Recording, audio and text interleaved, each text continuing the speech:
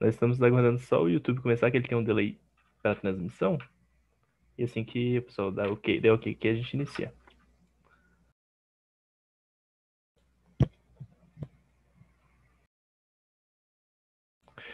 Bom, é, boa noite a todos. Sejam bem-vindos ao segundo dia da sétima edição do Workshop de Relações Governamentais do curso de Relações Internacionais da Universidade Católica de Brasília.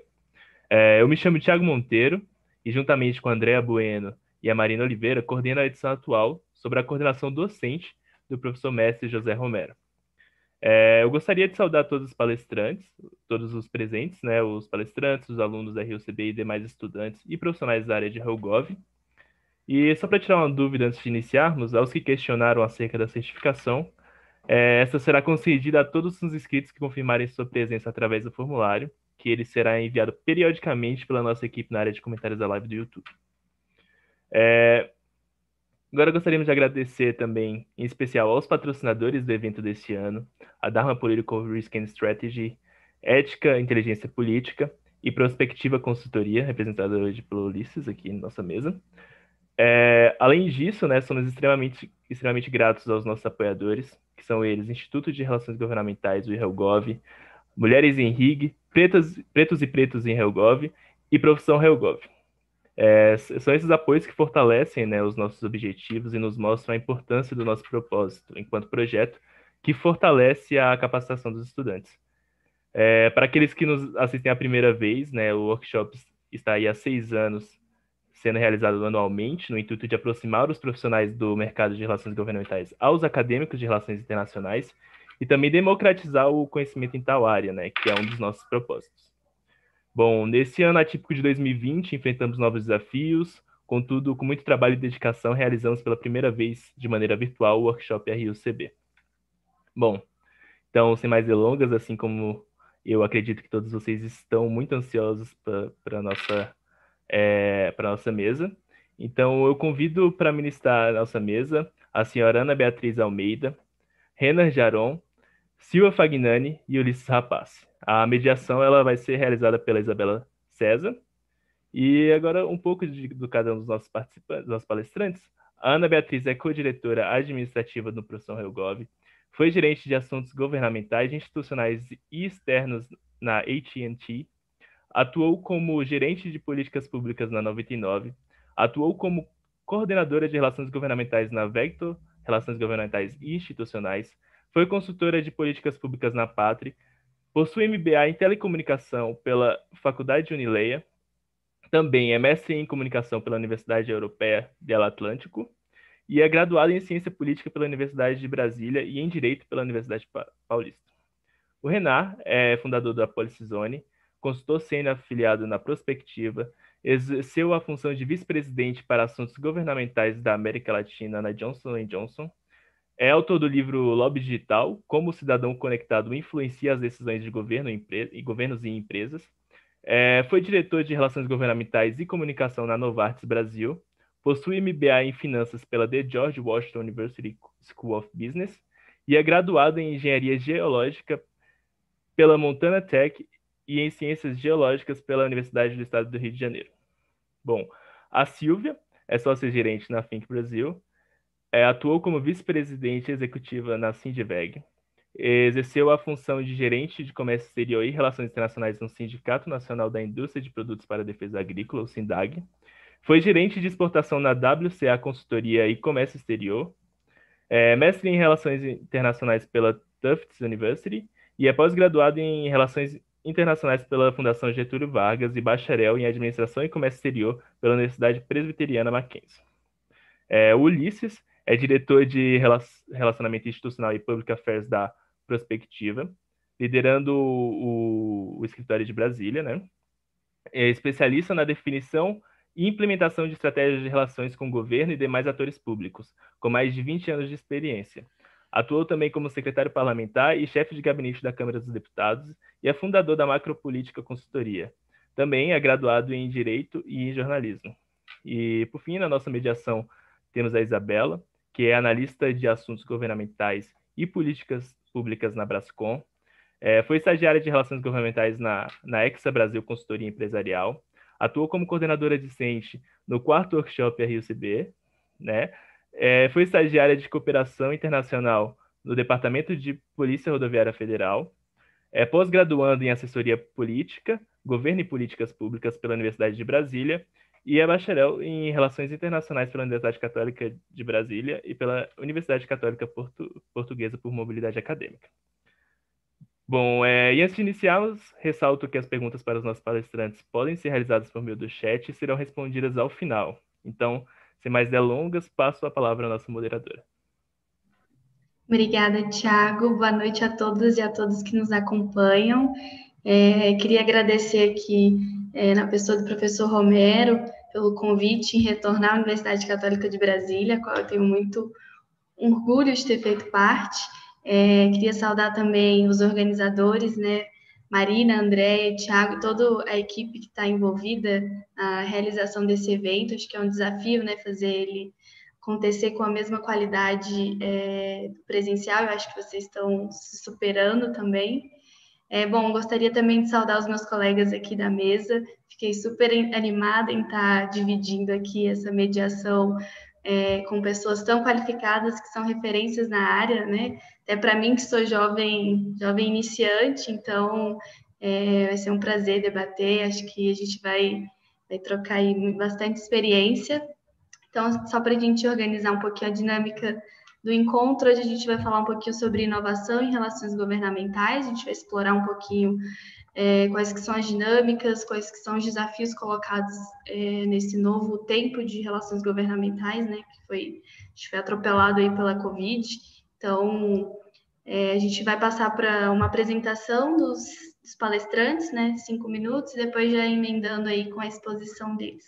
A gente começando aqui em linha, em ordem alfabética, e coincidentemente por mulheres. Convido a Ana para começar. Ana, obrigada, a palavra é sua. Obrigada, Isabela. Gente, obrigada pela oportunidade de estar aqui. É sempre muito legal falar com jovens. E eu acho que foi porque gosto dessa atitude de poder falar com jovens que surgiu a profissão Helgov. Mas antes eu vou me apresentar um pouco, eu vou pedir licença também para apresentar a Raquel, que é minha parceira na profissão, ela não pôde participar, mas eu faço questão. É, tanto eu quanto a Raquel temos carreiras muito similares, a gente começou basicamente é, no mesmo ano na profissão, é, temos entre 10 e 11 anos de carreira, passamos por lugares muito semelhantes, é, área de tecnologia, telecomunicações, e eu brinco com a Raquel que a gente é praticamente inversa na formação acadêmica. Enquanto a Raquel é, é formada em jornalismo, comunicação e tem uma pós em ciência política, eu fiz o, o movimento contrário. Então, eu acho que isso também traz muita sinergia para o trabalho que a gente desenvolve junto na profissão Helgov. É, uma coisa legal que eu acho que da minha carreira, e aí eu acho que é importante até para o jovem que está ouvindo a gente, é que muitas vezes o RIG não está no nome da sua, do seu cargo, do que você faz. É, alguns dos cargos mais, mais é, diferentes, talvez eu tenha tido, que teve um, uma natureza de RIG muito forte, não tinham RIG no nome. É, foi como consultora do Banco Interamericano, onde eu tive a oportunidade de, de trabalhar numa agenda institucional com a sociedade civil para gestão de políticas públicas e, na, e na, nas Nações Unidas na equipe de clima, que o meu trabalho era basicamente negociar com, com os gestores da política de clima brasileira é, e fazer sair o texto brasileiro e o laudo de pesquisas da comunicação brasileira para a UNFCCC de 2014, 2015, que balizou, inclusive, é, o posicionamento Brasil 2014, 2015 e 2016, as famosas COPs do Peru, de Paris e Marrocos.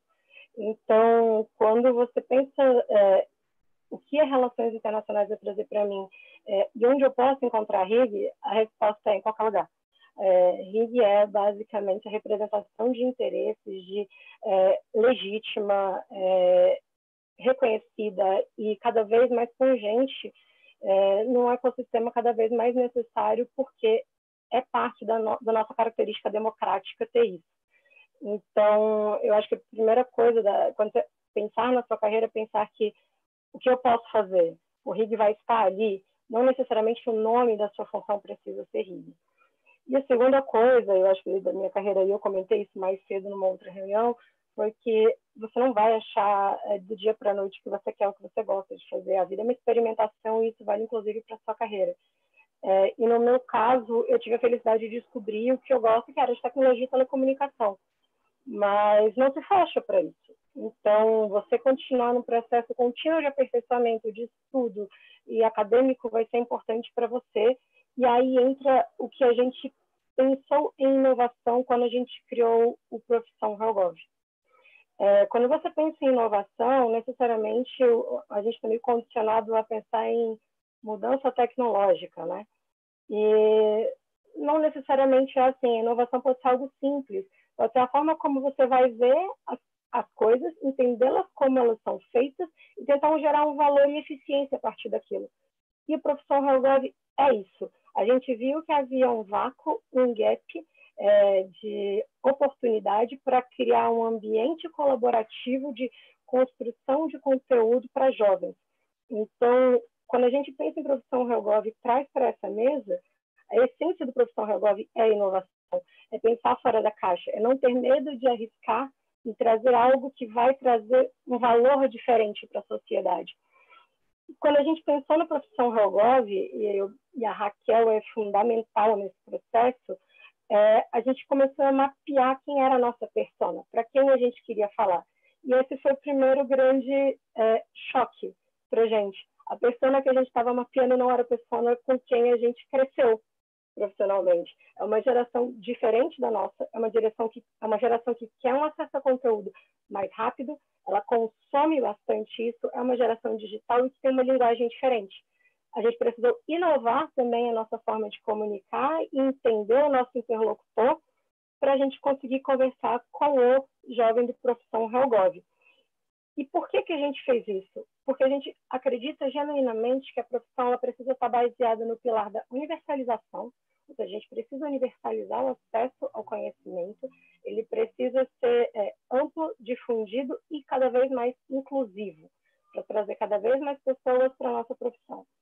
Segundo, que a gente acredita que num processo de transparência a gente consegue formar profissionais melhores. Então, se a gente consegue ser um motor propulsor para fomentar isso no jovem, a gente está cumprindo um, um, um check é, de metas que a gente tem no projeto. E, por último, a gente acredita que ele precisa ser transversal. É, ele não precisa é, necessariamente estar preso a sempre aos mesmos profissionais e mesmas áreas que a gente tem costume de lidar é, constantemente. E isso foi um aprendizado da minha vida, do meu dia a dia, do, do meu ecossistema profissional, e assim como foi o da Raquel. Raquel viveu muito tempo no marketing, assim como eu vivi muito tempo dentro da área de comunicação e engenharia. É, isso fez a gente perceber que existem outros instrumentos de outras áreas que precisam ser transversais a nós, incorporados a nós.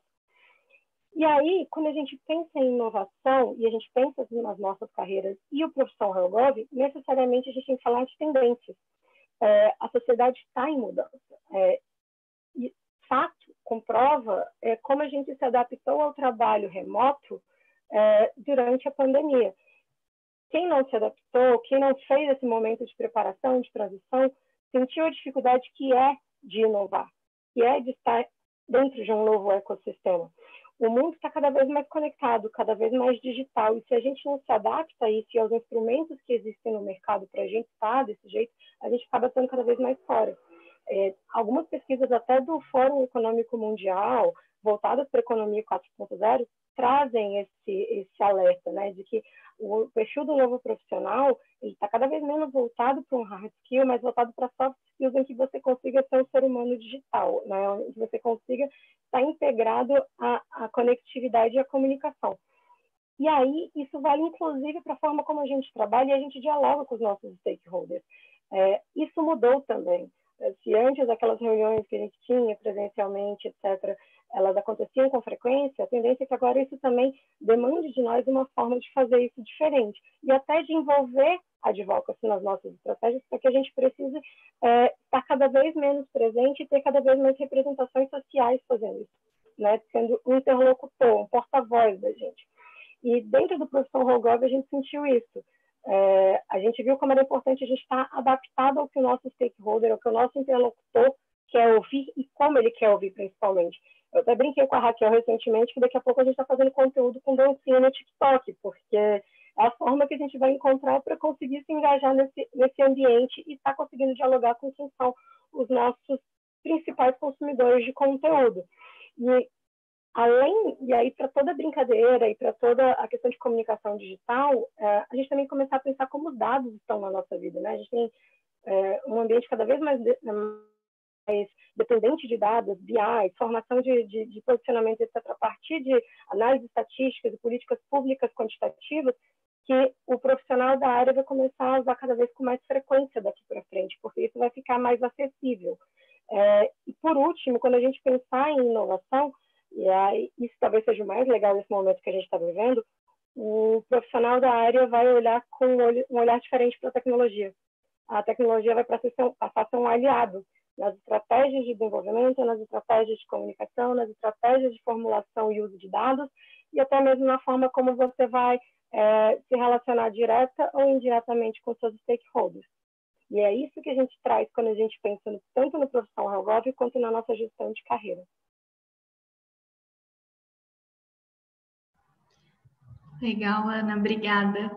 É, realmente a gente eu que trabalho assim bastante em contato com o setor de tecnologia, né? A gente costuma falar que o setor não parou, na verdade ele aumentou na te, né, com a pandemia. A gente teve uma demanda de profissionais muito muito alta e se perpetuando aí ao longo ao longo desses anos e realmente a gente enfrenta esse desafio, né, de, de como ajustar a nossa comunicação para fazer luz a esse século que a gente está vivendo, a essa, todas essas transformações, né? Eu acho que muito disso também é, foi impulsionado também pelos atores políticos, né? Que também fomentaram essa essa nova essa nova forma de se comunicar, né?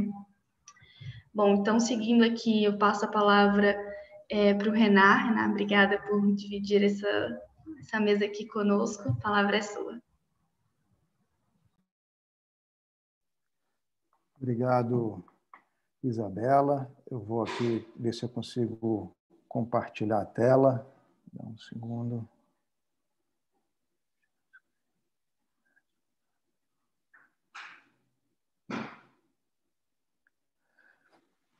Vocês estão vendo? Está vendo, Isabela? Deu certo? Sim, sim, estamos vendo. Ok. Então, uh, vou aqui falar rapidamente da minha experiência, não vou entrar no detalhe, porque ah, já, já, já falaram bastante do, do nosso background no início aí da, da do, do, do, painel, ah, mas acho que eu vou falar duas coisas aqui para vocês que acho que é importante. Um, ah, que mesmo não tendo estudado relações internacionais, eu comecei minha carreira ah, em Washington em relações internacionais, ah, com uma grande desvantagem, sem saber o que eu estava fazendo. Entrei realmente, como vocês ouviram, não, meu, meu background era ah, não, ciências geológicas e engenharia geológica e, e, fui fazer meu MBA em Washington. Ah, e meu primeiro estágio foi no Departamento de Comércio, que era o ex-MIDIC. Ah, e foi de lá que fui para a Câmara de Comércio Americana, o Conselho Empresarial Brasil e Estados Unidos, o CEBEL, ah, que eu comecei a lidar com a área internacional, ah, com questões tipo propriedade intelectual, tratado de bitributação entre Brasil e Estados Unidos, ah, foram questões típicas das relações internacionais, ah, com um braço na área do, do lobby, representando os interesses das grandes empresas com investimento no Brasil. Ah, então, é só realmente queria compartilhar essa ideia de que a, transição de RI para RealGov ah, é, é, super normal e simples e aconteceu comigo, mesmo não tendo estudado ah, relações internacionais. Ah, vou falar um pouco de, de, de inovação, vocês olham o resto da minha carreira, ah, tanto nos Estados Unidos, em Washington, quanto, quanto no Brasil, ah, bem tradicional. E quando ah, e quem já teve a oportunidade de ler o livro e quem não leu o livro Lobby Digital, ah, eu faço bastante diferença entre o lobby tradicional e o, e o digital. Eu vou falar hoje um pouquinho desse, desse lobby digital. Ah, o importante que eu deixar aqui para vocês é que os dois coexistem. Ah, não é porque hoje nós temos eh, essa, as redes sociais e um, um novo espaço, uma nova ferramenta e uma nova lógica de fazer lobby, que o lobby tradicional deixou de existir. Acho que um recado super importante processo legislativo, estratégia de Helgov, a entender os três poderes, a interrelação entre os três poderes, a super importante, sempre foi, continua sendo. Ah, então, a, a inovação aqui ah, não vem substituir o lobby anterior, mas complementa, que acho que é um desafio a mais para vocês que estão entrando nessa carreira, porque vocês já vão ter que entrar sabendo tanto o lobby tradicional, o one-on-one, né, o cara a cara, e, e, como fazer um briefing, como entrar numa reunião, ah, como entender né, o lobby nas redes sociais. Ah, são, e, e, e, né, eu que já tenho uma carreira, ah, peguei o finalzinho ah, deste, ah, dessa, dessa, dessa, desse monopólio que o lobby tradicional tinha, deixou de ter. Eu acho que isso é, é super importante ah, da gente entender. Então, vou falar aqui rapidinho ah, sobre a, a evolução. Ah, é, é, é, até um pouco acadêmico aqui, mas eu não, não, não acadêmico. Mas lá para a década de 1950, aqui nos Estados Unidos, eu estou falando de, de, São Francisco, ah, começou a teoria do Triângulo de Ferro. Ah, triângulo de Ferro, Iron Triangle, que era o executivo, ah, os CEOs, as grandes empresas, ah, e o Congresso. Era quase como se eles decidissem a, a, a política pública. Ah, não era aberto, era super fechado ah, e era só, vamos lá, a elite ah, que decidia uma política pública. Lá para 60, 70 começaram a aparecer os think tanks e aí a gente vai para a figura do meio aí. Ah, entra think tank, entra a mídia, entra os Helgov, ah, entra as associações, as entidades de classe, os sindicatos, as ONGs, quer dizer, começa a ampliar ah, o, o, o, mundo, né? daí começa a se falar em stakeholders realmente, ah, que participam desse debate, mas ainda é um debate fechado. Ah, e o nome que se dava eram subsistemas de governo, é o nome que se deu a esse, a esse modelo intermediário, ou comunidades de políticas públicas, ainda era um ambiente relativamente fechado.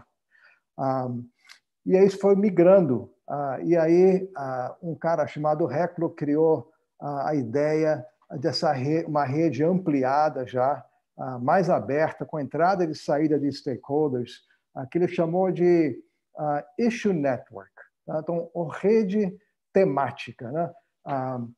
Hoje que nós temos essa figurinha da direita aí, que eu chamo de, e é, isso é eu que chamo de, de rede temática ampliada, porque o que fundamentalmente mudou ah, é que hoje temos o cidadão que entrou nessa conversa.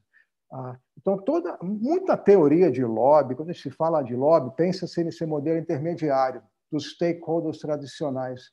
Ah, só que hoje, isso, por causa da tecnologia, por causa das redes sociais, isso mudou completamente. E hoje temos o cidadão. Né?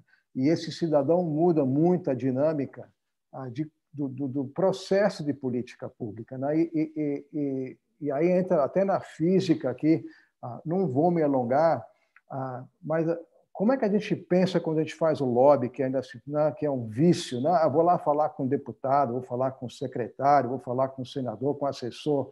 A lógica dessa conversa é eu e mais uma pessoa.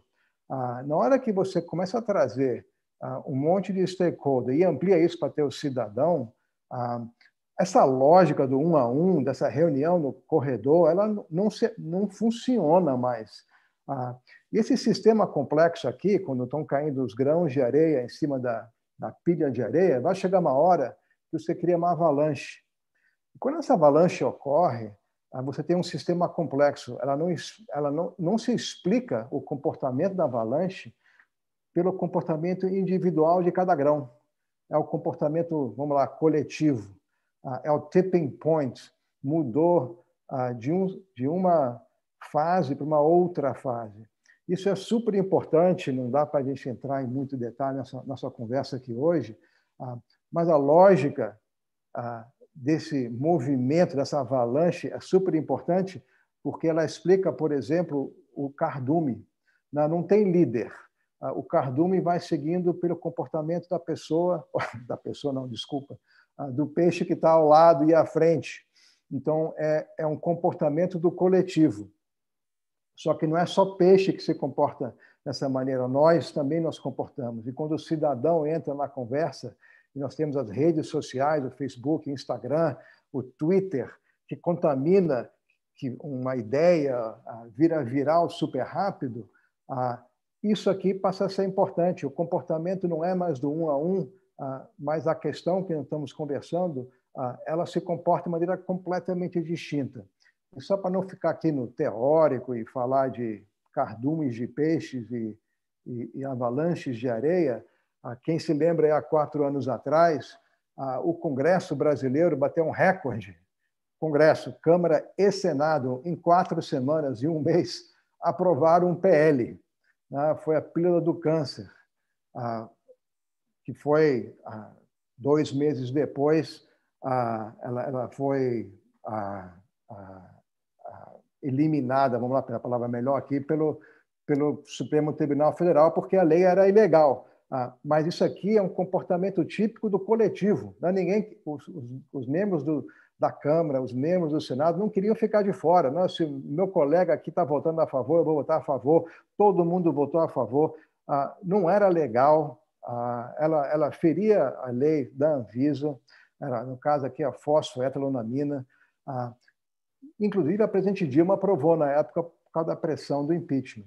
Quer dizer, esse é, é, é, é a nova lógica, né? a gente está falando de inovação aqui, né? o que mudou com a tecnologia, como é que a gente traz né, o social para dentro. Ah, é isso que está acontecendo hoje, ah, quando a gente começa a pensar em política pública, debate de política pública, e como é que a inovação tem impactado como a gente aprende né, e exerce a nossa função como alguém envolvido em Helgov. A gente tem que entender que existe uma lógica particular, totalmente diferente, ah, dentro ah, ah, deste mundo das mídias sociais. Está aqui um, um exemplo, vários exemplos, e a Ana falou aí, ah, vou ter que passar a entender o TikTok. Pode ir em frente entender o TikTok, porque tem aqui um exemplo bem à esquerda da tela, que é o, nesse caso peguei um exemplo aqui dos Estados Unidos, que é o Robert Reich, que é um ex-secretário aqui é secretário, ministro do Trabalho, na época do governo Clinton, advogando contra a proposição 22, que trata da, da economia gig. Perdeu, a proposição 22 foi aprovada.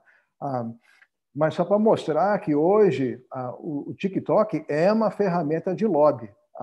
Tem aqui a Anitta, que até escrevi sobre esse caso no, no Jota ah, que ela pegou um, te um, tema econômico, não era um bem social ou bem comum, era um tema de interesse da própria Anitta. Ela fez uma live ah, no Instagram com o deputado, ah, pressionou o deputado e no dia seguinte ele voltou atrás.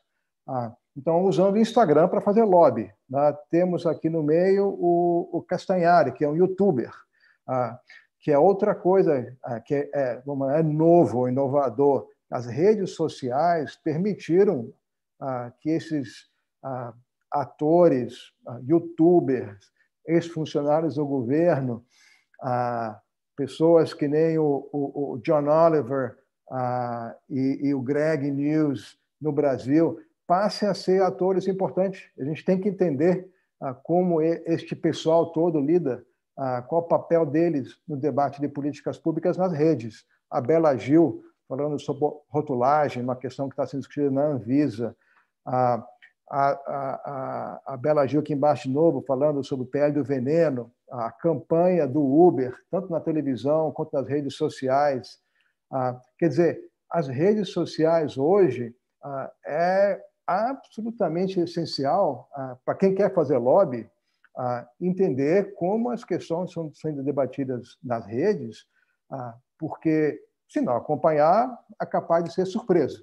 Antigamente falava-se muito, ah, não sei o que está acontecendo no Congresso, não, as coisas acontecem debaixo do pano, e normalmente era desculpa de quem não entendia os processos no legislativo.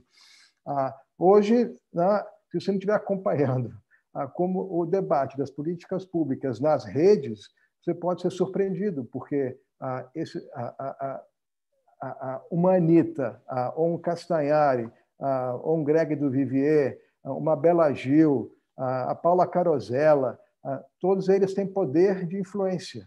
Eles trazem milhões ou milhares de pessoas para a conversa. E essas pessoas pressionam o Congresso, obviamente.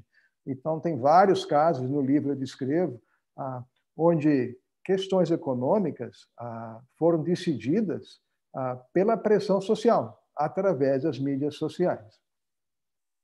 Aqui, então, só rapidinho, falar sobre esse novo cidadão, que é o cidadão stakeholder, né? que a gente normalmente fala, ah, vamos mapear os stakeholders, a gente ainda pensa ah, ah, em todos os stakeholders, menos o cidadão. Ah, tem que passar a, a, a ouvir o, o, o, cidadão. E se vocês assistiram ontem a aula master, ah, o próprio Creomar, professor Creomar, na, na abertura, falou do cidadão consumidor. Né? Como as empresas hoje têm que prestar atenção no consumidor, porque ele não só está comprando o produto, ele está comprando a ideia, né? a imagem, a identidade da empresa.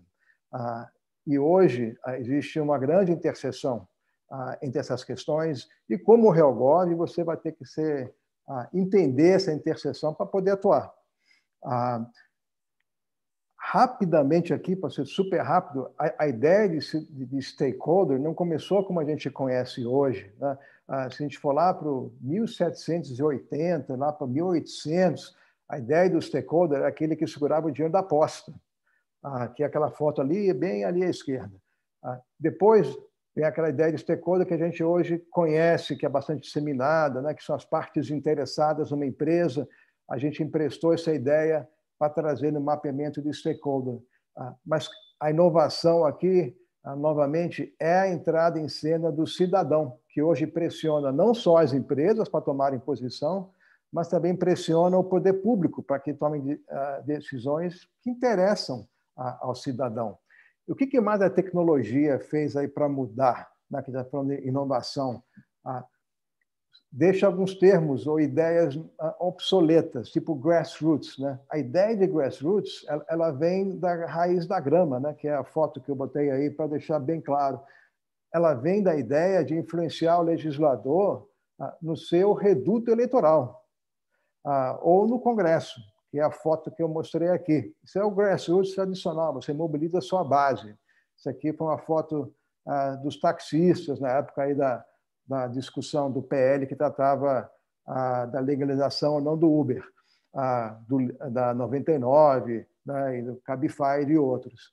Ah, isso aqui que é o tradicional, vai lá pressionar o deputado, ah, ou no seu reduto, uma variação ah, no Congresso Nacional a falta de nome, para não chamar de grassroots, eu dei o nome de Cloudflow.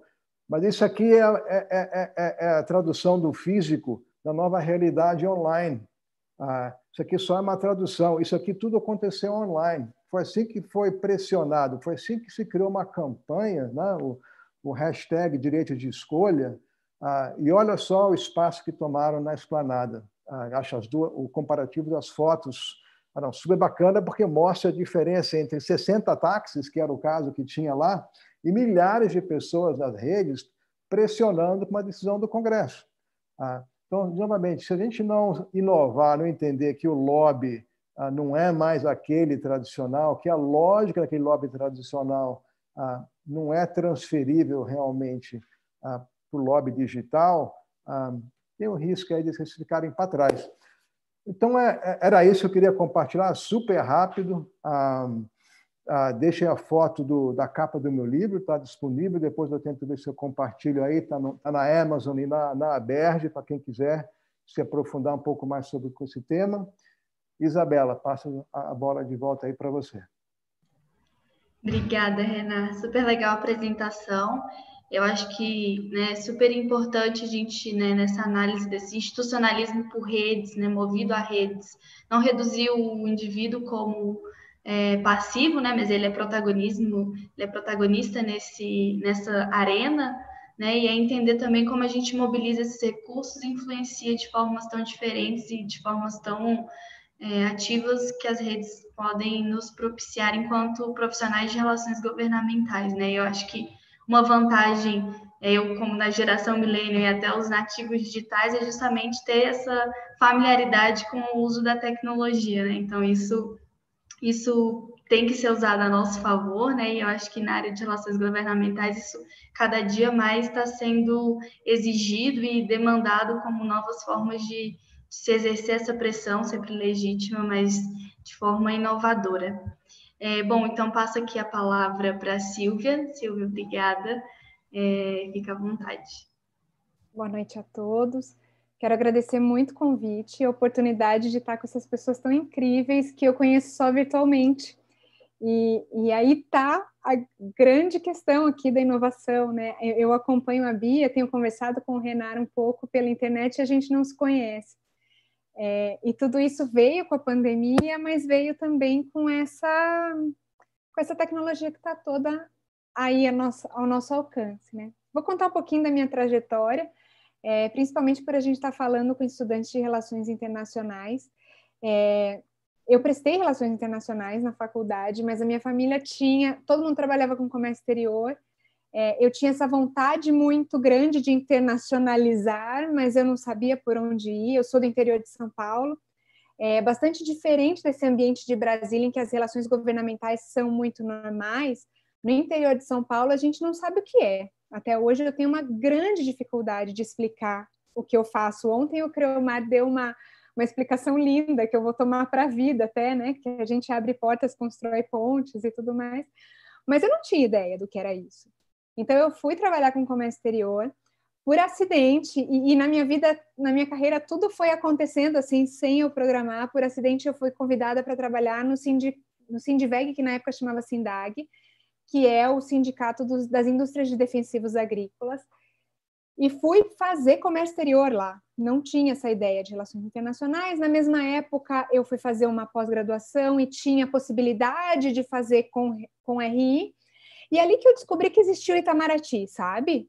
É, e aí eu percebi que eu tinha perdido tempo, porque aquilo era o que eu queria ser. Eu queria ser diplomata, mas eu já tinha passado da minha fase de graduação, onde eu poderia ter estudado quatro, cinco idiomas. A minha vida pessoal também não me permitia tomar essa decisão muito rápida de mudar para Brasília, e muito menos de correr o mundo, como a carreira no Itamaraty é, é, traz esse pressuposto, mas essa coisa do diplomata sempre ficou ali, sabe? E, e aí, no Sindiveg, é, naturalmente eu comecei a trabalhar com governos, né? Governos estaduais, governos municipais, governo federal, é, com esse meu background de relações internacionais, que aí eu já estava, é, já tinha essa formação, essa pós-graduação, mais de comércio exterior, eu comecei a negociar todos os acordos do Mercosul, e aí tinha uma grande inter, é, interlocução com o Itamaraty, com o MIDIC na época, que hoje está no Ministério da Economia, e até então eu não sabia que eu era lobista né? Eu não tinha essa ideia tão clara. Eu vim ter a percepção de que eu era uma lobista e tinha talento para isso, justamente no PL do Veneno, quando eu fui fazer o contraponto com a Bela Gil e com a Paula Caroselha. Eu era representante da indústria, eu, eu trabalhei junto com os deputados da bancada ruralista na redação do PL do Veneno, que eu vou chamar aqui de PL do Alimento Mais Seguro, para ser um pouco mais para dizer um pouco mais daquilo que eu trabalhei. Mas eu sempre. É, é, aí que eu fui descobrir que o que eu fazia era lobby e com muito orgulho, e que lobby era isso bacana de se fazer, sabe? Mas eu ainda não tinha essa pegada tecnológica. Eu, aliás, sou muito analógica. Minha última conversa com o Renan foi agradecendo por ele ter publicado o livro dele é, em, em, versão física, porque já comprei, viu, Renan? A Bege que não entregou ainda em casa. porque eu sou super analógica. E aí eu tive uma. E eu acho muito. É, é, essa é uma situação que eu sempre tive dificuldade de falar, mas eu acho importante falar dos reveses, né? É, eu era presidente já do sindicato, eu estava 15 anos ali, e eu decidi ser mãe. E eu fui demitida no primeiro dia de volta da licença maternidade. E aí, é aquela coisa super complicada de se lidar, é, é um luto que eu já vivi, já superei. E aí eu resolvi empreender. E fui empreender em novembro, dezembro do ano passado e veio a pandemia. E eu fui empreender de forma bem analógica. Vou fazer lobby, vou fazer diplomacia corporativa, porque aí nesse meio tempo eu já estava fazendo um mestrado. Eu vou dividir aqui a minha tela com vocês. É, eu já estava fazendo um mestrado em diplomacia nos Estados Unidos, porque nos Estados Unidos existe o diplomata corporativo mesmo, não é essa essa posição ligada ao governo, ao Itamaraty, e mesmo as posições ligadas ao governo são profissionais do mercado e que aplicam para determinadas vagas. Então, lá existem esses mestrados profissionais. Bom, fazendo é, tudo isso, a minha ideia com o Bernardo, meu sócio, foi abrir uma consultoria em diplomacia corporativa. O, o Creomar ontem falou bastante desse conceito de diplomacia corporativa e até me citou e eu fico muito grata. É, Creomar é um grande parceiro, amigo. E diplomacia corporativa, para quem não sabe, é usado a advocacy do lobby, que, gente, que eu vou falar um pouquinho mais para frente, mas é juntar esses stakeholders para tentar criar uma situação de ganha-ganha. É, e os stakeholders não necessariamente têm o governo envolvido, às vezes pode ser duas empresas é, privadas ou uma ONG, uma instituição internacional. A diplomacia corporativa ela começou seus primeiros, suas primeiras definições são lá de 2007, quando se falava numa relação da empresa com organizações internacionais. Mas no Brasil isso acabou se ampliando para os governos nacionais mesmo, e, e a gente tentou abrir essa empresa para fazer justamente isso, fazer alianças estratégicas e parcerias que levassem a um ganha-ganha usando as ferramentas de advocacy lobby. E aí eu venho só por um minuto falar das diferenças de advocacy lobby, já que ninguém aqui é, se aventurou até agora, porque em muitos lugares elas são eles são tratados como sinônimos. É, Para mim, eles sempre foram quase que sinônimos, mas quando tem uma tentativa de diferenciar, existe sempre essa pecha de falar que a advocacy é feito pelas organizações do terceiro setor e o lobby é feito pelas empresas, numa tentativa, de novo, de deixar o lobby mais feio, sabe? De que o lobby vem mais com o poder econômico e tudo mais. Mas a verdade é que a grande diferença é que o advocacy é você comunicar e é, argumentar para obter apoio público é, para uma causa específica. E aí esse apoio público ele pode ser público dos cidadãos, como o Renan falou, que hoje os cidadãos são um stakeholder muito importante, mas ele pode ser daquele seu público direto. Então, por exemplo, eu trabalho muito no mercado agro, então normalmente quando eu tenho que aprovar um produto não visa para agricultura, eu vou falar com os produtores rurais, porque eles vão me dar esse apoio. E esse é o público que eu preciso fazer o meu advocacy. E o lobby, ele é efetivamente o corpo a corpo, essa tentativa de influenciar o político. Eu vi uma frase muito interessante esses dias que diferencia na seguinte situação. O advocacy é você explicar para o deputado a sua causa, e o lobby é você pedir para que ele vote em favor da sua causa. Mas eles são muito próximos mesmo. Bom, e aí, é, voltando à minha trajetória, eu, super analógica, criei a minha empresa e aí eu fui pega pela pandemia. E esse lobby corpo a corpo que eu pretendia fazer, essa interlocução, interação entre as empresas, a gente tinha até um projeto de trazer o Fórum Econômico Mundial num evento aqui e tudo mais, já estava tudo alinhado. Vem a pandemia, vamos todos para casa e, de novo, eu fiquei super sem saber o que fazer. E aí, uma grande amiga minha, que é amiga de vocês também, que é a Suelma, ela veio até, ela me chamou na casa dela e ela me deu uma sacudida e falou: Olha, você tem que ir para online, você tem que começar a fazer lives, você tem que fazer lobby de outra forma, porque você tem que começar. E eu, eu devo muito a ela por causa desse dia, que foi quase uma intervenção daquelas de filme mesmo. E aí ela fez a primeira live comigo, e a gente começou a discutir as crises do governo Bolsonaro e tudo mais. E sem que eu percebesse, e aí foi antes da Anitta, isso é mais legal, a Anitta não aprendeu comigo, mas eu também posso dizer que acabei fazendo como ela. É, comecei a fazer lobby pela internet. E aí a gente, usando essa palavra Think Brasil, a gente criou uma série que chamava Vamos Pensar o Brasil, e a ideia foi chamar pensadores primeiro para mostrar que a gente estava no mercado e para é, é, reconectar com alguns stakeholders importantes. Mas aí, o que aconteceu, e aqui é todo um fluxograma de como a gente trabalha as lives e tudo mais, o que aconteceu é que a gente começou a gerir um número muito grande de viewers, é, um número muito grande de é, é, replicações no YouTube, e os nossos convidados, a gente teve um caso muito emblemático que foi com o deputado príncipe, o Luiz Felipe Bragança, ele pegou a nossa live e dividiu em extratos e colocou no YouTube dele. A gente teve mais de um milhão de visualizações, é, com falas dele, claro, mas que acabaram divulgando o nosso trabalho. E aí, o nosso público inicial eram executivos do governo, Congresso Nacional, as assembleias estaduais, os profissionais de Helgov, os stakeholders do agro, porque era uma vocação minha e do Bernardo, meu sócio, e os interessados em política em geral. E aí interessante é que a Bia ela falou de que é, ela conseguiu se conectar com esse público mais jovem à medida que ela criou a profissão Helgov, que eu sou super fã. É, e o nosso eu senti que foi o inverso. É, muitas pessoas mais velhas, 60 a mais, eu até fiz uma live sobre é, é políticas para 60 a mais, começaram a me acompanhar pessoas que estavam super frustradas de estar em casa, é, presas por causa da pandemia e tudo mais, e começaram a me mandar muitas mensagens e me mandar sugestões de temas e de políticas públicas para serem alteradas e tudo mais. Eu tenho até uma amiga que ela falou: Silvia, você ressuscitou todos os velhinhos do agro, porque teve uma live que estava todo o pessoal mais velho me assistindo e comentando, sabe? E mandando muitas mensagens, e é muito gostoso isso. Bom, o nosso objetivo era inicialmente ampliar essa rede mesmo, difundir o conceito de diplomacia corporativa, mas principalmente fazer esse lobby transparente. É esse orgulho de ser lobista, sabe?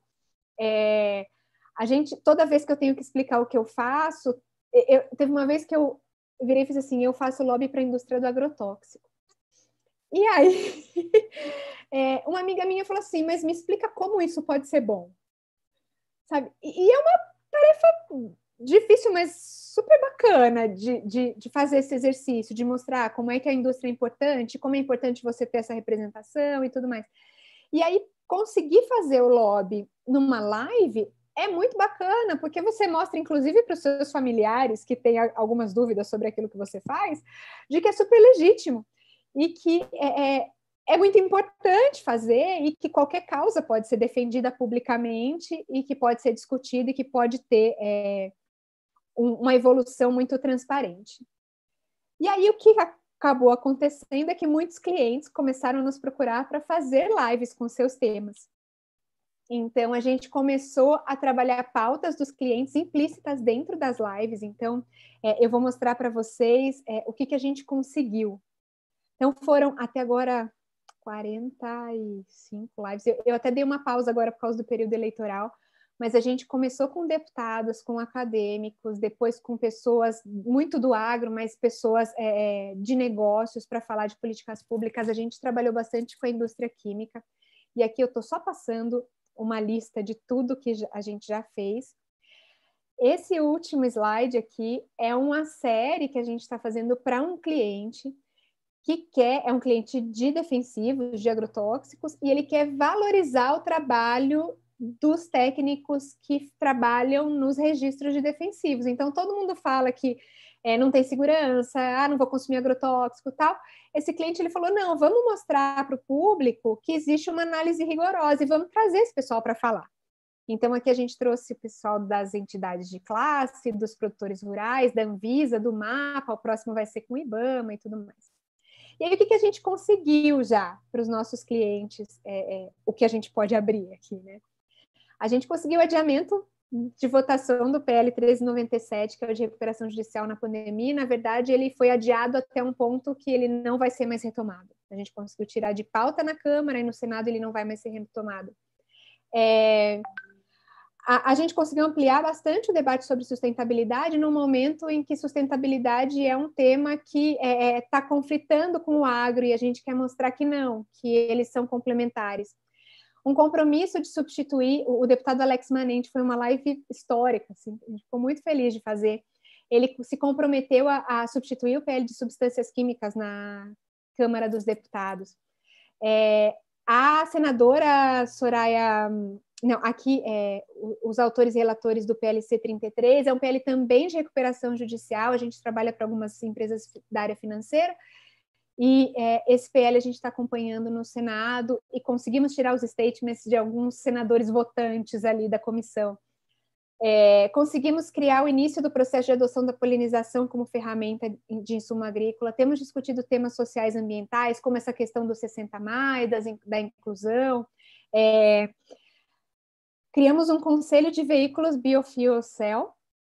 Tivemos o convite para falar no Senado assim que voltar sobre o contrabando de defensivos agrícolas, que é uma pauta que para mim é muito cara, sim, é muito importante, e nos tornamos um canal oficial para o debate de temas políticos de marinha e defesa.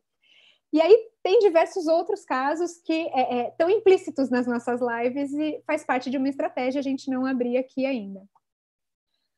Mas é basicamente isso. O que eu quero dizer é que são muitas oportunidades e que mesmo eu, beirando os meus 40, me considerando super analógica, consegui inovar e fazer uma coisa super diferente nesse momento de pandemia. Então, o que eu gostaria é só de deixar o recado para os estudantes de que eles estão, na verdade, não 20 anos atrás da gente, mas 20 anos na frente. Eles têm muita, muito mais facilidade de lidar com essas ferramentas do que a gente tem. É, eles têm universidades que já tratam de HellGov como uma carreira que não existia na minha época. É, então, é, é estão anos-luz na nossa frente, é só seguir, sabe? É, tem muito espaço. Obrigada. Acho que eu falei demais, desculpa. É, foi ótimo, Silvia. Até pegando o gancho, é, lendo um pouquinho aqui que o pessoal colocou nos comentários, né, de que Guilherme coloca aqui que ele trabalha com relações institucionais desde 1987, como foi difícil chegar até aqui e dizer que é lobista, né? Então, é, eu acho que é uma realidade que está se tornando cada vez mais comum assumir mesmo que a gente faz e explicar e engajar a sociedade para vir junto com a gente, né? É, eu acho importante reforçar que nunca ficou tão fácil explicar o nosso trabalho como nessa época de pandemia. Eu acho que o profissional de Helgov, ele nunca trabalhou tanto como no início, principalmente, em que abre tudo, fecha tudo, defende como é, serviço essencial e tudo mais. E, e como a gente, não só eu, como muitos, a Anitta, a Gabriela Prioli faz isso de forma muito é, é, apropriado, o pessoal do Profissão Helgov, é, tem as meninas da plenária que fazem de forma muito bacana, e, e são muitos outros perfis, eu tenho medo aqui de não, é, é de pecar e não citar alguém, mas acho que a, a população está começando a entender o que a gente faz e que é bom. Sim, sem dúvida. E acaba que fica sendo um repositório, né? De acesso à informação qualificada, e isso pode ser usado também pelos tomadores de decisão. Então, a gente acaba criando aí um, um acervo de temas que podem ser usados pela população para cobrar sobre as políticas públicas, mas também pelos profissionais, né? Então, acho que é um trabalho aí que vai deixando um legado. Bom, vou convidar aqui então Ulisses para dar continuidade aqui às nossas apresentações. Ulisses, obrigada, a palavra é sua.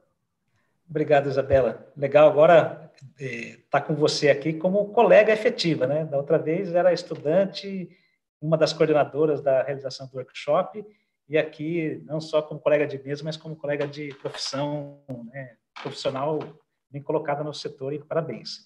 Bom, parabéns também a todo mundo que eh, ajudou a preparar esse evento, não só os professores e alunos, né, os patrocinadores, os colegas da mesa, todos os eh, panelistas dos cinco dias, e também agradecer eh, a todos aqueles que estão aqui tirando um tempo de descanso, né, já de noite, convive com a família, ou qualquer outra coisa mais prazerosa do que só assistir aula, como os alunos estão sempre é, nessa rotina, mas quer dizer, estão todo mundo aqui é, buscando aprimoramento profissional, e isso é muito importante, e aqui, como, como profissional, a gente tem que estar sempre é, buscando esse aprimoramento, a, a, a novos conhecimentos, enfim.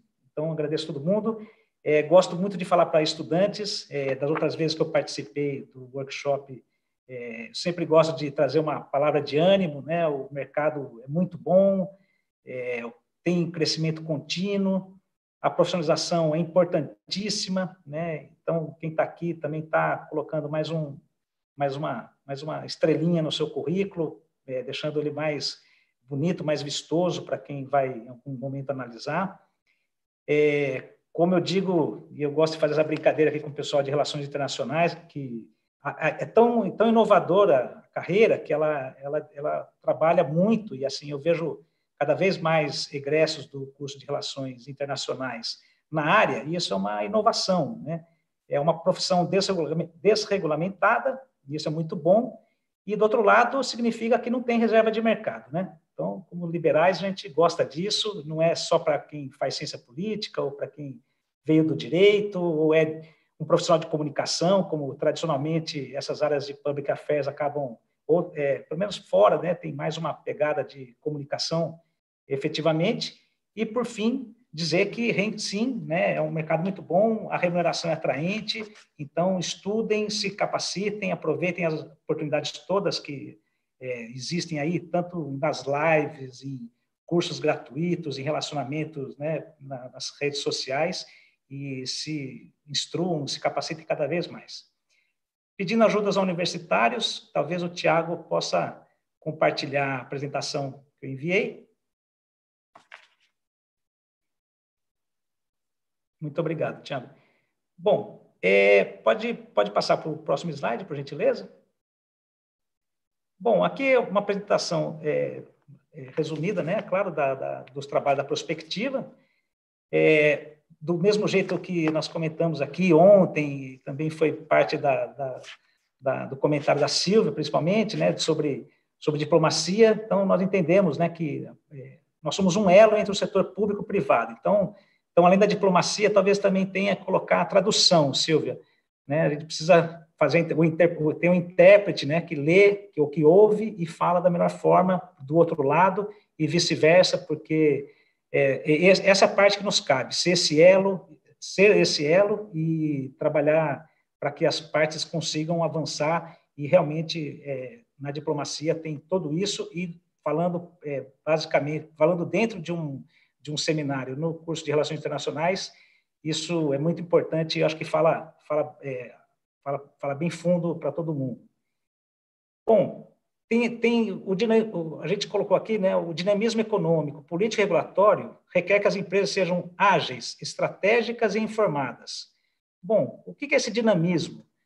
Esse dinamismo significa mais ou menos o seguinte: a gente vai dormir e quando acorda amanhã, às sete horas, já está lá o Diário Oficial com uma medida que atrapalhou todo o nosso, planejamento, a nossa programação do mês, às vezes do ano. Então, tem lá como aconteceu e todo mundo vivenciou isso na, no início da pandemia, proibição de funcionamento, restrição de horário de venda e assim vai. Então, o dinamismo significa, infelizmente, ou boa parte das vezes, um risco à atividade. Então, acompanhar esse dinamismo significa estar tá muito em cima, é, monitorar o que está acontecendo e aí, cada caso, fazer estratégias e, e avançar em busca de uma solução.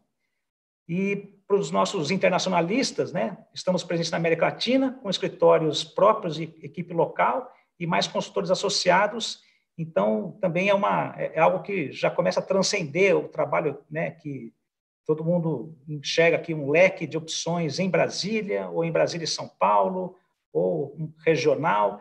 Então, não. É, o mercado, hoje colocado, é um mercado é, grande. Né? Então, nós estamos falando aqui de, de toda a América Latina, e, e, e isso sem prejuízo de vários colegas que estão no Brasil e também às vezes acabam sendo removidos para a Europa, para os Estados Unidos. Então, é uma, é uma realidade e, e, e isso puxa também a, a pensar na, na, na, na, sua própria. É, é, no seu próprio desenvolvimento, então, inclusive com línguas, quer dizer, importante direito, é, inglês, espanhol e assim por diante. Pode passar, por gentileza, Tiago. Pode passar mais um, por gentileza? Pronto, slide 4. Então, é, aqui, aqui conversa muito com, com a parte da apresentação do Renato também, né? Então, um pouco do histórico, né, do que aconteceu, né, até onde nós estamos hoje. Então, na década de 90, é um pouquinho pós-constituinte, a, Câmara, né, com uma atividade muito grande, foi um movimento em que os lobbies vieram muito fortes, os lobbies empresariais vieram muito forte a Brasília, né? E essa atividade vindo lá dos primórdios, muito vinculada ao relacionamento profissional. Início dos anos 2000, e aí até estava me dando conta que é justamente o período que eu cheguei em Brasília. Eu cheguei no finalzinho de 99, então estou com 20 anos de, de, é, de, relações governamentais, trabalhei na Câmara é, dos Deputados três anos e meio, foi uma experiência muito interessante, e E de lá, aí eu queria fazer só o comentário aí, puxando com o gancho da, da de inovação, que é o seguinte, é, muita gente não vai saber, mas depois dá uma gulgada. Então, tinha assim, mimeógrafo, e aí depois de um certo tempo veio uma inovação que era a máquina de xerox, depois o fax, e aí aconteceu algo, e aí foi quando eu estava é, começando a frequentar a Câmara, e, e aí tinha algo muito, muito interessante, que é o seguinte, o presidente da Câmara, na época, ele pegou um sistema que tinha, chamado de intranet, quer dizer, um sistema que só funcionava lá internamente, é, com, os, com, os, computadores é, conectados à rede interna, e colocou isso disponível na, intra, na internet. O que, que significa isso? É que qualquer informação sobre um, mero, um mero trâmite de projeto de lei, né, íntegra de alguma coisa, qualquer coisa que a gente precisasse, tinha que ir lá fisicamente, ou alguém que fosse lá, e, muita, e muitos dos que eram, então, né, no, no passado, que nós somos hoje, né, as, as pessoas que estavam trabalhando nessa área, elas faziam pegar documento, cópia e, e mandar por fax ou mandar por correio. Então, no final, tinha já uma solução na intranet. E a inovação foi abrir o conteúdo. Eu gosto muito da Câmara, é, não só porque eu trabalhei lá, mas eu me identifico muito com a Câmara, e ela tem uma vocação muito democrática, e o trabalho que é feito junto com o Instituto Legislativo Brasileiro, de coordenar a, as ações com as assembleias legislativas, para dar uma unidade nos, nos, nos nos sites, isso é muito interessante. Então, é, de alguma forma, isso foi o fim da era desses contatos pessoais e começou a uma outra era. E aí, aqui a gente é, identifica, a partir de 2014, né, o tsunami da Lava Jato, então acelerou a profissionalização, colocando em destaque princípios como transparência accountability, é, as regras de compliance, até cursos de compliance, escritórios voltados a compliance, pode quem for dar uma recuperada na memória vai ver que começou, é, teve muito impulso pós 2014 e pós Lava Jato, o que é muito bom porque esse, tudo isso significa transparência. Então, quando a gente não tinha nem condição de saber qual era o texto de um projeto de lei, o, texto de um parecer, a gente ia ficar sabendo disso é, eventualmente depois de um mês, talvez, é, melhorou muito. Então, melhorou, inovou a nossa área, e isso estou falando de para mim não parece muito, mas, enfim, no final são 20 anos, mas isso aconteceu é, num, num passado recente. Tiago, por favor. Muito bem. Então, drivers, drivers da inovação. Então, o um aqui, é, alta disponibilidade de dados e informação gerou uma, uma oportunidade para as plataformas. Mas aí eu queria fazer, fazer um, fazer um, pedir uma licença aqui e contar uma história do professor Romero, nós trabalhamos juntos, e a inovação que nós criamos ali naquele momento foi o seguinte: é, nós tínhamos que ler todos os projetos de lei apresentados para identificar aqueles que eram de interesse do cliente. E não sei se é um número que todo mundo está familiarizado, mas Câmara e Senado é, apresentam cerca de duas mil proposições legislativas por semana. Então, era uma loucura, né? Porque todo mundo tinha que olhar o seu e cada um fazia, o outro rechecava. E aí, numa tarde de brainstorm, eu lembro muito bem, não sei, depois eu quero saber se o Romero lembra disso, nós fizemos uma tabela, um, um, um checklist. Pode voltar, Tiago, por gentileza. Obrigado. A gente, nós fizemos um checklist, então colocamos proposições e anotava o último número. Então, quem começava não tinha que ler tudo e foi algo simples, mas inovou e tirou muito tempo da produção dos informes que nós fazíamos. Bom, dois, decisões embasadas em dados ganharam tração no setor. E aí, o que significa? É, é um pouco do, do fim do deixa que eu chuto, né? Aquele pessoal que tinha o contato, que tinha vivência, porque só tinha aquilo, né? Tinha que estar aqui para poder viver e para conhecer, é, passou a conviver, então, agora com, é, com, com ferramentas e, e, a transparência trouxe muito dados. Então, os dados é, nos obrigam a analisá-los e aí, com isso, a gente trazer informações que às vezes não são tão fáceis, tão perceptíveis, ou não são tão, é, são contraintuitivas, né? Quem mais apresenta é, projetos numa certa área, nem sempre é o grande formulador, o grande é, formador de opinião, no final das contas, ou um influenciador. Às vezes ele está tá sendo demandado e não necessariamente ele, ele é o, o, o, nome a ser tra trabalhado. Bom, três, é, essa floração de novos atores, né? eu, eu vou, vou deixar porque já foi muito bem comentado aqui. Então, assim, realmente, policymakers tornaram-se cada vez mais visíveis e acessíveis por meio das redes sociais. Então, tem aqui uma infinidade de, de novos atores que são muito bons para o ambiente como um todo, porque traz, traz essa, essa, essa dinâmica, né? Tá, é, deixa muito mais interessante, tem, é, e a participação, né? Claro que o importante aqui é ver que está tendo participação de, de locais que nunca antes tiveram é, chance de poder trabalhar, como, por exemplo, é uma realidade de ter só consultorias que atendem grandes clientes. Então, hoje você tem né, consultorias que fazem especificamente trabalho social, advocacy, enfim. Então, é muito bom ter isso. E aqui, por fim, o mapa de stakeholders. Né? Então, é, isso, para nós internamente, hoje, ele se reflete numa na alta velocidade de automação que nós estamos é, implementando na prospectiva, um grande investimento em sistematização de informações. Por quê? A velocidade, se tem muita informação de qualidade, essa, essa, essa informação também é, facilmente se perde. Então, precisamos ter é, algum tipo de trabalho, algum tipo de cuidado com essa informação para que ela seja útil no futuro, que você consiga extrair mais dados dela de acordo com, com a necessidade que você tem. Tiago, por favor. Bom, muito bem. Então, aqui, é, cenário atual. Então, Participação social no crescente, eu acho que está claro para todo mundo, né? já foi comentado aqui hoje. É, a, a, gente pode lembrar aqui é, quantos ativistas se elegeram em 2018, né? e de várias matizes, mas, enfim, é, é, é uma, é uma realidade inconteste. A advocacy digital, quem é que nunca viu, né? Então, essa maior exposição de decisores em redes sociais tem fortalecido esse processo e é muito bom.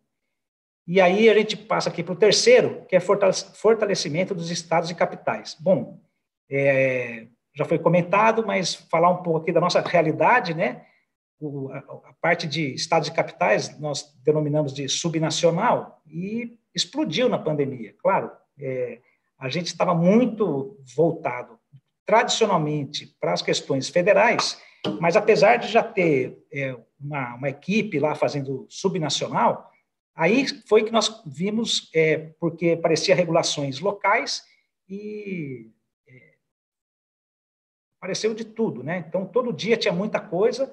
A gente também entende que não é uma, não é uma, uma tendência que talvez se perdure até o ano que vem, mas é o, é o tema da mesa, né?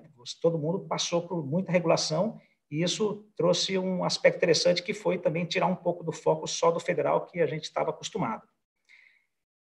É, profissionalismo do Poder Executivo. É, é muito saudável, muito louvável e veio para ficar, né?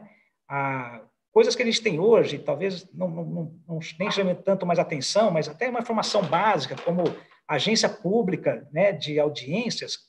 É, eu lembro que após a, a, eleição do Obama, a Dilma começou a, a fazer.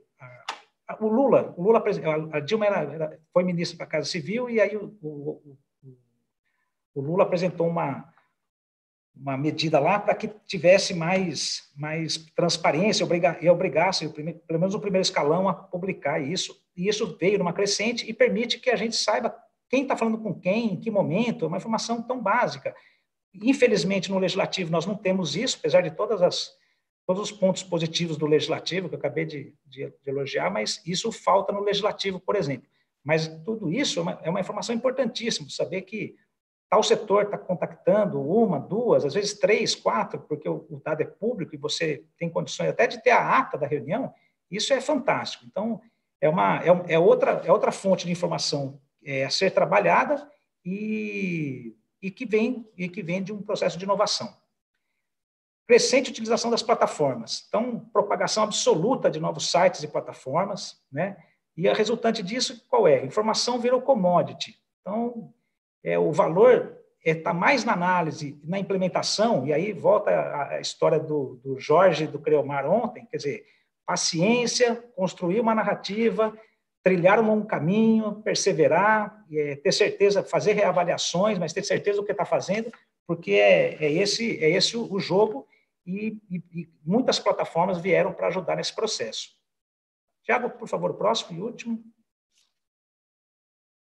Bom, era isso. Pessoal, estou à disposição e agradeço mais uma vez pela oportunidade. Obrigada, Ulisses. É, acho que muito da sua fala também me, me lembrou aqui algumas, algumas cenas também na parte do legislativo, né? Então a gente vê que tem algumas votações em que os parlamentares eles ficam direto nas redes sociais, né? Então, assim, acompanhando e fazendo a transmissão, emitindo seu posicionamento, isso impõe ao profissional de relações governamentais também ter essa capacidade holística de estar acompanhando, de estar monitorando ali, para também é, exercer de fato essa, essa defesa de interesse. Então, é, eu pude acompanhar um pouquinho no dia da votação de fake news e o que a gente observava era isso, né? Todos os parlamentares na semana de votação fizeram lives sobre o tema, já se posicionando, adiantando um pouco sobre o seu posicionamento, e aí também coloca a gente esse, é, essa quebra de paradigma e tá ali também sempre exercendo e fomentando também é, essa, essa participação, né? E aí chamados uma das coisas... Desculpa, uh... chamados carinhosamente de bancada da live. Sim.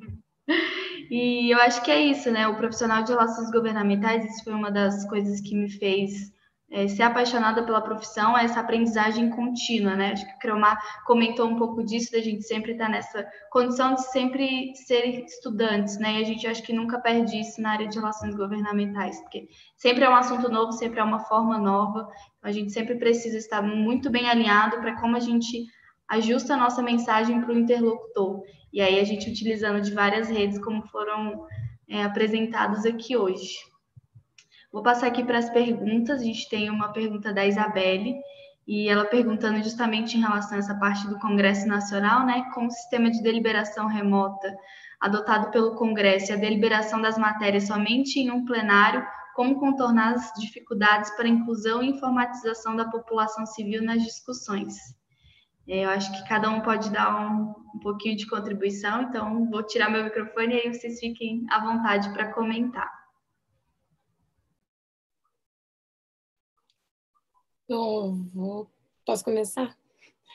É, eu acho que a gente nunca viu é, duas coisas. Primeiro, um trabalho preventivo, é, a ênfase no trabalho preventivo muito maior agora e o trabalho associativo é, ganhando cada vez mais corpo, porque você precisa municiar e ter uma capacidade de calibração de força ainda maior.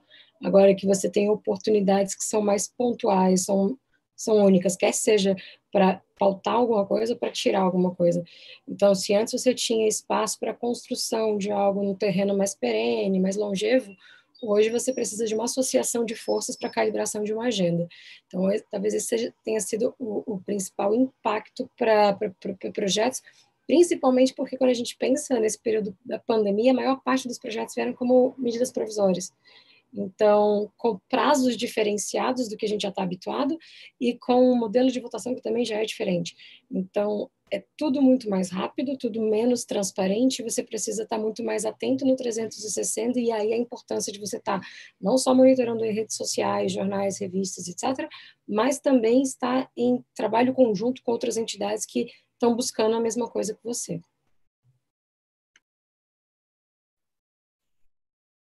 Bom, é, eu não tenho dúvida de que essa é, informatização das votações ela foi muito benéfica e ela precisava acontecer durante a pandemia mas realmente a questão da transparência ficou à deriva. Né? É, conversei com muitos deputados, inclusive, que é, estavam muito, muito frustrados, porque muitas votações importantes acabaram sendo conduzidas só pelas lideranças.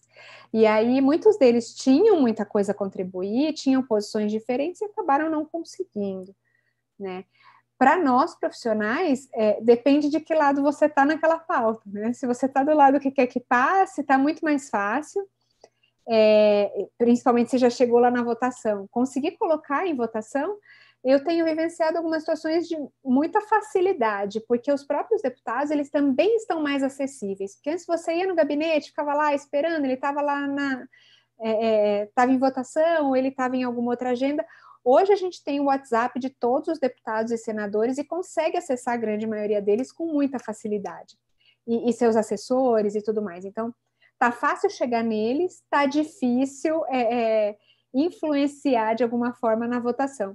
Me preocupa muito essa tendência de continuidade das votações eletrônicas, sabe? É, eu acho que é, uma ferramenta importante, mas ela tem que ser usada com parcimônia. Não dá para a gente continuar votando tudo dessa forma fora da pandemia. Precisamos voltar a, a frequentar os corredores do Congresso para fazer o nosso trabalho e para que todos possam fazer o seu trabalho, para que tenham direito também ao contraditório, aí que eles possam ouvir todos os lados. É, fazer só um comentário. Bom, é primeira vez que conheço a Ana Beatriz e eu acho que é, eu gostei muito porque ela é otimista, então eu gosto muito de, de pessoas otimistas, então já gostei da resposta dela, que tem realmente uma, uma, uma tem um caminho, mas claro que tem todo. Eu acho que a gente é assim, e aí também aí me, me aliando a Silvia, mas assim, o problema não só nós temos inovação, mas o outro lado está preparado para essa inovação, né?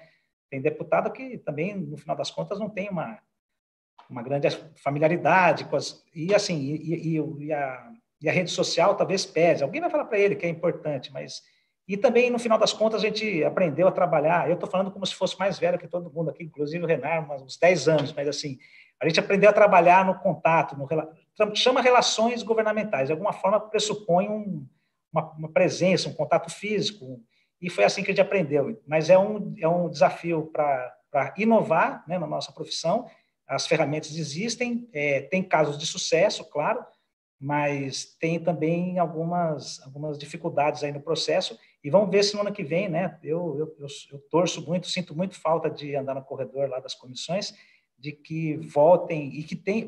E é importantíssimo a, a, a, o, o, local da comissão né, permanente, especial e temporária que reúne ali. E o seminário aqui é ótimo, mas é, tudo é muito diferente quando presencial. E tem muita coisa que a gente quebrou a trava de que é possível, que é bom, que dá para fazer, mas tem algumas outras que vão precisar, quando o assunto é muito mais complexo, é difícil você passar isso tudo. Né? Eu, eu tenho comentado assim, às vezes presencialmente você não tem certeza se a pessoa está aterrizada ali, está conversando com você sabendo, ou se ela, ela pega o celular, coloca aqui na frente, está olhando para frente, mas na verdade está olhando o celular ali, uma mensagem, uma notícia, um e-mail, um WhatsApp. Então, tem, tem um pouco disso. É, mas eu, eu, eu prefiro ser otimista e vou junto com a, com a Ana Beatriz.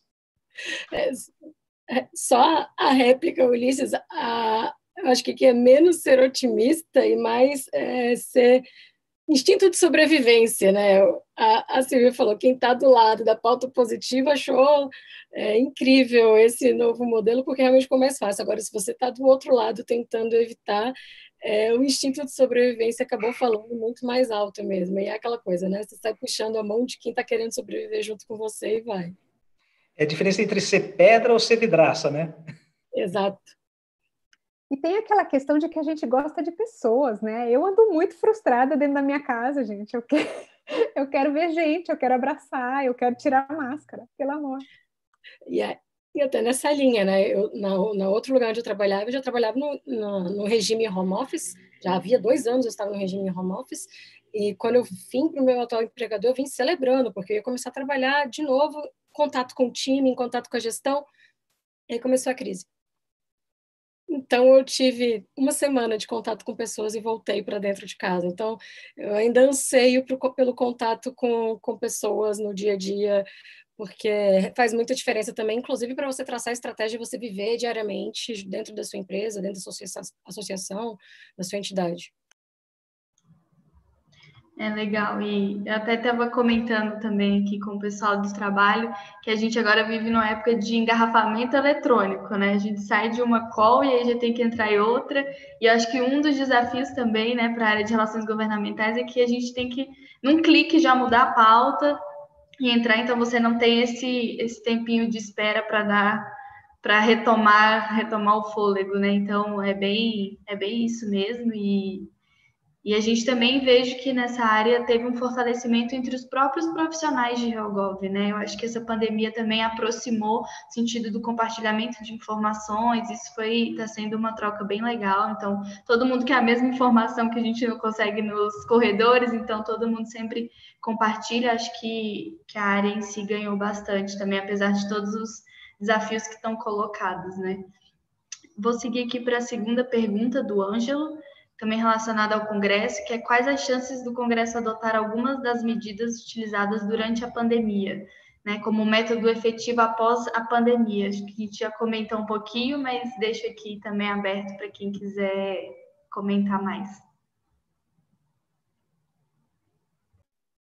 Existem discussões de alteração do regimento para é, é, tornar perenes essas votações eletrônicas. O que se fala é que talvez algum, é, alguns tipos de votação não possam ser eletrônicas, mas a grande maioria seria.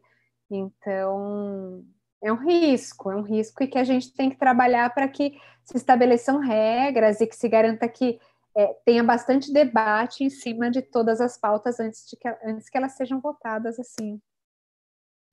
É bom para o país também. A gente sempre reclamou que as pautas demoravam muito tempo, né? E agora que elas estão muito rápidas, a gente também está reclamando. Tem que achar um meio termo. É, é, eu, eu acredito que deva continuar em alguma medida, até porque, apesar de eu, eu, eu a Ana, a Silva, querer muito lá bater perna, no bom sentido, né, bater perna no Congresso, mas se olhar pelo menos para a condição da Câmara em si, quer dizer, comissões sem ventilação, com carpete, não vou nem fazer nem fazer comentário de brincadeira que tem muito grupo de risco, mas não vai voltar, né? Isso, infelizmente, é uma realidade que a gente vai, vai ver cada vez mais, de que é, vai ter protocolo, já, já veio numa crescente, desde a época do deputado Eduardo Cunha na presidência, de restrição à entrada, isso é muito ruim para a democracia, eu tenho muita preocupação, falando sério mesmo, de que de, do nível de representatividade, não só como profissionais, mas com a sociedade que está mais longe, que vem muito menos, né? A Brasília vai ter nisso. Eu tenho, eu, eu tenho, escrevi alguma coisa sobre isso porque é preocupante. Então, quando começa a limitar acesso, nem, nem, nem por conta de lotação, começa a limitar acesso com uma função de, de desestimular a presença lá de quem, de quem é profissional, né? de quem está trabalhando. Eu, eu, tenho no meu contrato social, como todo mundo aqui, é, assessoria parlamentar, trabalho diretamente na Câmara e no Senado. Quando nós somos limitados, e infelizmente é, não tem nenhuma, nenhuma movimentação, nem institucional, nem de classe nesse sentido, eu vejo com muita preocupação, porque eu vou a, eu ia, né? Eu ia à Câmara, principalmente toda semana, terça e quarta, e não só a saudade né, física de estar lá e de encontrar os profissionais, os amigos, os servidores, mas da importância de estar fazendo um trabalho que você tem acesso e que você tem direito, mais do que isso, tem direito. E quando, de todas as iniciativas, e agora justificada pela pandemia, a gente fica, é, tem acesso bloqueado, tem, tem sim muita preocupação. Mas eu acredito que na, no Senado as comissões já têm uma janelinha ao lateral, na Câmara não tem, eu acho que isso, no final das contas, infelizmente, vem para ficar, porque não dá para ter o projeto estrutural ali para abrir janela nas comissões, infelizmente. Também tem a questão da contenção de gastos, né? É, é, eu acho que é uma tendência natural, a gente tem que olhar para isso, porque é a realidade do país, e essa diminuição das viagens, ela também contribui com a redução de gastos. Então, alguma coisa vai ser feita aí. É, e o Ulisses trouxe um ponto super importante, que é o princípio democrático precisa ser preservado, e a gente precisa pensar também que o desafio daqui para frente vai ser como viver é, o, de um lado tendo toda a tecnologia a nosso favor e do, e do outro lado você tendo o desafio de torná-la transparente, né, torná-la acessível, porque a gente viu o que aconteceu com o STJ, é, esses últimos dias, e a gente tem que pensar com a garantia de preservação do, dos dados e da, e da, da fidelidade é, dos votos que vão ser imputados durante uma votação, processo de transparência, etc. Então, eu acho que tem um desafio anterior que é como mecanizar um processo transparente para que isso se torne algo é, perene. É, não, exato. E, e até um, um dos dilemas né, que se coloca para essa modernidade, né? Como organizar as decisões coletivamente, né, numa, uma sociedade que estruturalmente é divergente, né? E aí, em que medida a tecnologia vai, vai entrar como, como auxílio. Quero colocar uma, uma última pergunta aqui mais para o Renan comentar um pouquinho do desafio relacionado a esse ativismo corporativo, né? Então, como que a gente também trabalha isso internamente, né? Então, sei que isso é explorado um pouquinho no seu, no seu livro, então, é que a pergunta é como que a gente também, enquanto profissional, é, fomenta esse, esse ativismo corporativo, tanto do ponto de vista interno, né, de de arregimentar todas essas áreas que são envolvidas nesse, nesse ativismo corporativo, também como isso se, se coloca do ponto de vista externo. E aí a gente finaliza aqui as perguntas. Então, ah, do ponto de vista interno, ah, passa a ser mais importante ainda a colaboração com as outras áreas. Né? Então, a comunicação, saneamento corporativa, jurídico, a RH, que não era uma área que normalmente estava no radar da área de Helgov, passa a estar né, quando a gente tem movimentos que nem Black Lives Matter, por exemplo, né, a questão racial, ela é tratada internamente né, e para a empresa poder se posicionar externamente, tem que fazer o dever de casa interno, quer dizer, o RH passa a ter um papel-chave ah, e a liderança da empresa. Né? Hoje o CEO ah, ele representa ah, para o mundo externo e interno a, a identidade da empresa. Ah, então, ah, quando acho que ah, há muito mais exemplos disso do papel do, do Helgov nesses temas sociais do ativismo corporativo aqui nos Estados Unidos, aqui no Brasil. acho que no Brasil são poucos exemplos ainda. As empresas elas né, se posicionam sobre temas que não são unanimidade nacional. E o grande desafio para o Rogov é entender como essas questões ah, ah, se desenvolvem ah, ah nos entes, ah, no legislativo, ah, não, federal, estadual e no executivo, porque quando, por exemplo, um presidente, que é que nem aqui nos Estados Unidos, o Trump, se posiciona sobre questões de racismo, os CEOs sentem-se compelidos, inter... compelidos a, pela identidade da empresa e por pressão interna a, e externa a se posicionarem. Mas como é que isso vai ser entendido pela administração? Como isso vai ser entendido pelo legislativo, pelos deputados com quem o Helgov tem que trabalhar? Ah, então, em sociedades que são ah, polarizadas, que nem os Estados Unidos e o Brasil, ah, o papel do Helgob. Esse é um, mais um novo papel do Helgob, que ele vai ter que não só entender a dinâmica dessa discussão, mas como ela repercute ah, nas, nas esferas, principalmente do legislativo e do executivo, ah, porque pode ter retaliação. Né? E quem lê o livro vai ver, houve, já houve casos de retaliação do poder público, do legislativo, quando uma empresa se posicionou sobre uma questão aí que era o controle de armas. Ah, então passou a ser muito mais complexo ah, e esse é mais um novo papel ah, do Helgov. Obrigada, Renan. Acho que sim, é, pegando aqui como gancho tudo que também já foi explorado, né? Acho que faz parte do nosso papel entender que os atores são estratégicos e sociais, mas agora principalmente sociais. Né? Então, acho que isso também se coloca como paradigma que a gente vem quebrando aí ao longo desses últimos anos. É bom, a gente já estourou aqui o tempo. Acho que o defeito desses encontros virtuais é que eles passam muito rápidos, né? A gente teve mais algumas perguntas, mas eu convido o pessoal a acompanharem aqui nossos palestrantes nas redes sociais, colocarem as perguntas que eventualmente não foram respondidas aqui. Quero agradecer bastante a, a organização do evento por, por realizar essa, esse ciclo de debates aí que vão democratizar o acesso e o conhecimento sobre a área de relações governamentais. E queria deixar também o meu muito obrigada aos palestrantes. Aprendi bastante ainda como jovem profissional iniciante na carreira. É, fico muito feliz de poder debater isso com vocês e fazer essa troca. Obrigada, pessoal. Muito obrigado, Isabela. É, bom, antes de tudo, né, gostaria de agradecer a cada um dos palestrantes que acolheram a ideia e, toparam né, difundir um pouco da própria experiência e conhecimento conosco. É realmente muito enriquecedor. E agradecemos também né, a presença de todos, e, em especial aos patrocinadores do evento deste ano, que são o Dharma Political Risk and Strategy, Ética, Inteligência Política e Prospectiva Consultoria. Bom, também, também não, não podemos deixar de agradecer aos nossos apoiadores, que são eles Instituto de Relações Governamentais, o IRELGOV, é, Mulheres em RIG, Pretas e Pretos em RELGOV e Profissão RELGOV. Então, é, fica aí nosso agradecimento a todos. E neste momento estamos encerrando o nosso segundo dia do workshop e ressaltamos né, a nossa mesa que acontecerá amanhã, dia 11, e nós estamos fazendo esse convite para a participação, que é a mesa 2, gestão de crise, que assim como hoje vai contar com convidados muito especiais. Então, até mais.